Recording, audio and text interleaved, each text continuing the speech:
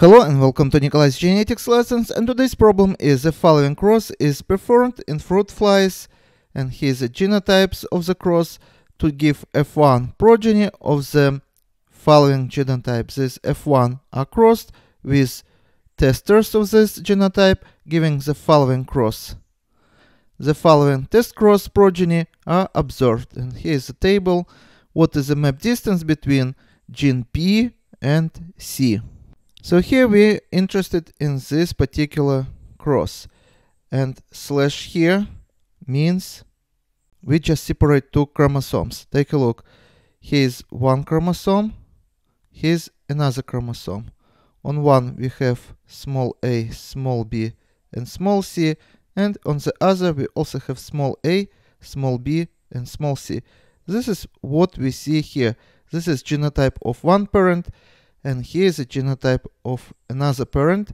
Genotype is as follows. So on one chromosome we have plus, plus, and plus, and on the other chromosome we have small a, small b, and small c. And we call this a test cross because using this test cross we can find the distance between the genes and the order of the genes. Now take a look at this parent. So let's say this is parent 2 and this is going to be parent 1. Parent 2 only can produce one genotype. It doesn't matter even if here or here we will have crossing over. We're still going to get only one type of the gamete from this parent, which is going to be small a, small b, and small c. We can't see any variation here, but parent 1 can produce different variants. And the first variant, of course, going to be what we call parental variant. Take a look. For example, if crossing over didn't happen, then we are going to see genotype plus, plus, plus. So this is going to be one chromosome, and another is going to be small a, small b, and small c. Again, if crossing over didn't happen, this is variants that we are going to see in a progeny. But also, we may see that crossing over happened between gene A and B. In this case, we are going to get one chromosome plus small b, small c, and another recombinant variant would be small a plus plus. So also, let's write down these two variants it's going to be plus small b and small c and also small a and plus plus. Now forget about this crossing over. Crossing over also can happen between gene B and C. If you like, you can change these pluses to say capital A, capital B, and capital C. Because this plus here just means wild type of the allele A, this plus here is not the same allele. It's wild type allele of the gene B, and this plus stands for the wild type of the allele C.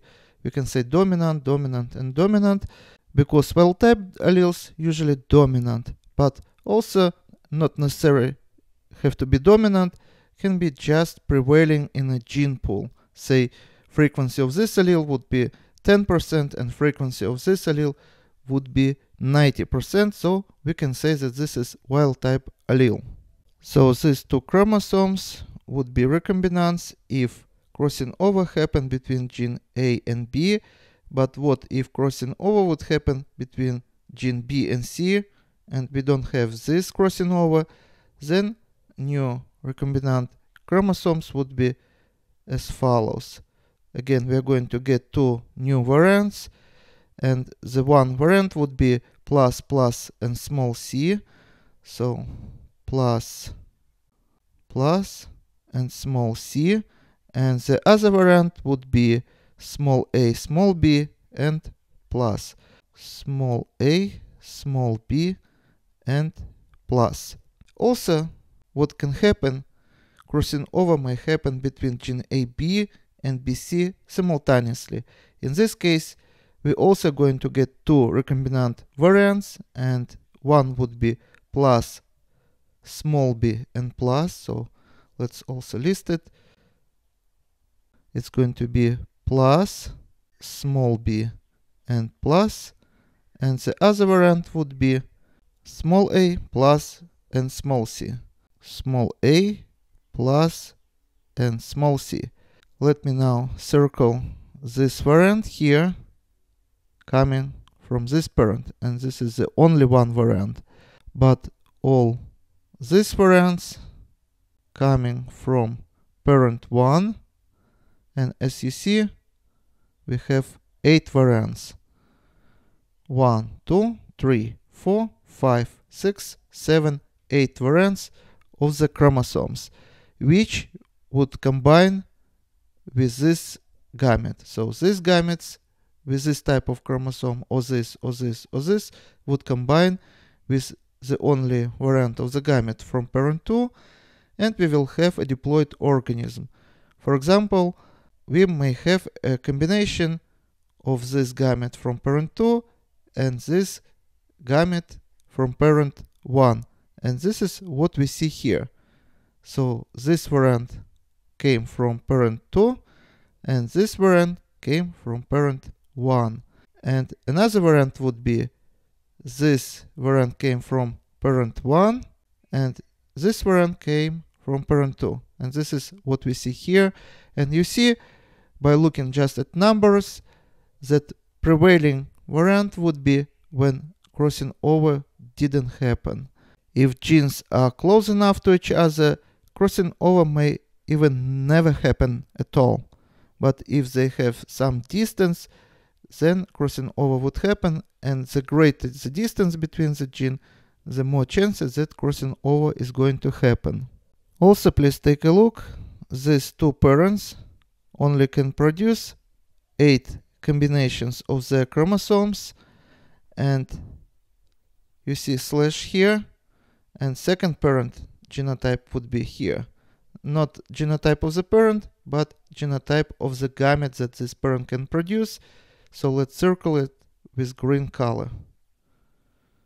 It's always the same according to my explanation here. But on the left we have all these 8 variants that also listed here.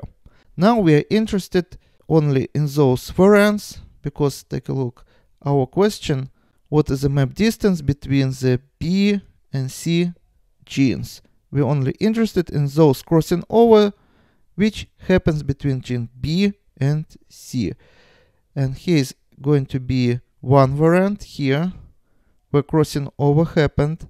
Also another variant would be here where crossing over happened between gene B and C. Again, we can replace these pluses with capital A, capital B and small c. So now we know that this is recombinant and this is also would be recombinant. And do we have more? Yes. For example, we have here and here. Crossing over happens between gene B and C. But also it happened between gene A and B here. This is going to be double crossing over what we see here. And here is the genotypes. This is the result of the double crossing over. Now everything we have to do, we just have to combine this variants and divide by the total number of the variants in the F2 progeny. So we are going to have 104, 104 plus 92 plus 3 and plus 1 plus 3 and plus 1 and we have to divide by total number of the observed genotypes. And this is going to be 1000 if we combine all those numbers we are going to get 1000 and we are going to get 200 over 1000 which is going to give us 0.2 if we need an answer in percentage form we have to multiply by 100 and we are going to get 20% and 1% of the crossing over So we got what we got here. This is a frequency of the crossing over and 1% of the crossing over equals to 1 map unit. This is relative measurements. 1 map unit equals to 1 centimorgan. So we can say that distance, and we are looking for the distance between the gene B and C, would be 20 map units. 20 map units. And this is going to be our answer. Thank you for your attention, see you in the next video, and goodbye.